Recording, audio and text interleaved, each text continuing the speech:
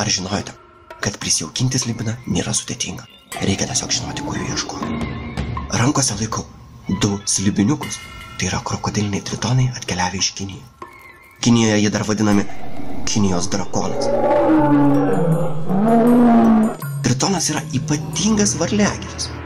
Jisai gali ne tik atsiauginti savo galūnės, bet taip pat gali atsiauginti ir savo organus. Jeigu kartais neteko gabaliuko kepenų, jisai be problemų tai gali atsiauginti. Jeigu netyčia apako, ne problema, akis galima atsiauginti. Ar nenorėtume turėti tokių gebėjimų?